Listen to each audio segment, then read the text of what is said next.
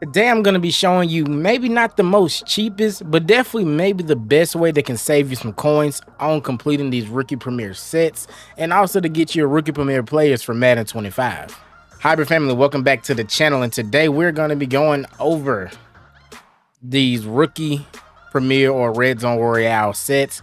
As you can see, I have 2.4 million coins. I have Dave Robinson, Billy, White Shoes Johnson, and also Dominique Rodgers-Cromartie all done.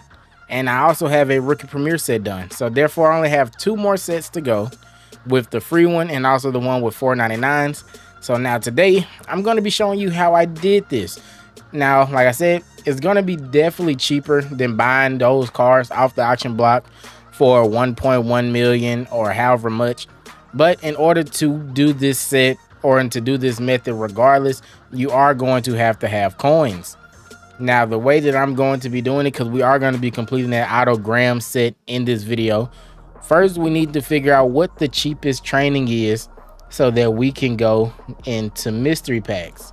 So if we go to MUT.gg, we see that we need to be getting 99 overalls at around or under 200k. It looks like their prices did go up from the last time. So let's just see what we can do with that. We got Asante Samuel for 200. But we'll fast forward through all of this and then we'll just we'll probably have about 2 million training points when we get back. Okay. So we have the cards that we just bought. Try to get your 99 overalls from for around 189k and below.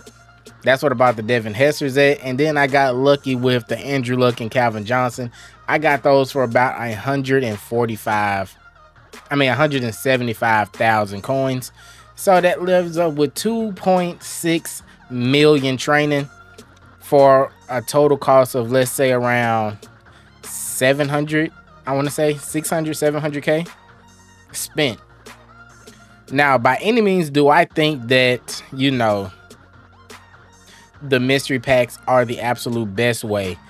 I do say that it gives you the most chances to go ahead and either earn your coins back or worst case scenario, get your Red Zone Royale player for a little bit cheaper. Because granted, 500 to 7 500 to 600k, maybe even 650k, that's still cheaper than the 1.2 million. Now, we are going to try to keep everything from this just to make this the most efficient possible. Now, I will say if you do get like 88s and below, you can go ahead and quick sell them. But 89s and up, you want to keep those. And then 90, 97s and 98s, I want to say that you sell, especially 99s you sell because they don't go into any sets. So we got all three 89s right there. Now, I refuse to absolutely just show you all 2.6 million trainings worth of mystery packs. Because me personally, I don't even think that that's that interesting to go ahead and see. But if we do pull anything, you will see it. Now, you are going to have a lot of boring packs, but you're also going to have some good packs that you do hit off on. This just makes it a more fun way and also a potential cheap cheapest way to go ahead and do it with the current um, price of training as we get 292s right there. Now, what I didn't notice in the last few times that I was doing the sets, I was quick selling my 91s and 92s. I didn't know that you can add those into a set to go ahead and get a 97 also. So I definitely lost out on quite a bit of value. Quick selling 91s. But hey, you live and you learn as we get a 98 Nolan Cromwell right there. And so we're just we're just gonna put him up. Sell him, sell him back, get some of that coin back that we lost from doing this method. I should have quick sold the 86, but it's not the end of the world. And so that's kind of the method that you do want to go about anything 97 and up just go ahead and sell because you can't use them in sets and then just see what you do from there And our last mystery pack before the magic power of editing kicks in. We get a gold plus player. Is it at least an elite? And it's a 78. All right. If you see anything, that's great. If you don't, I'll meet you back in my binder. Okay, so now we're left with 58,000 training points. Now, we were our packs decent. They were good. We did, the only highest overall that we did get was a 98 overall, which was that Nolan Cromwell, I do believe that y'all saw. But overall, definitely not the worst. And so now this is where the dirty work comes in. You got to go over here to sets. And then let's see what we uh, have to go ahead and get the 97 overalls. So we need 95s and 96s.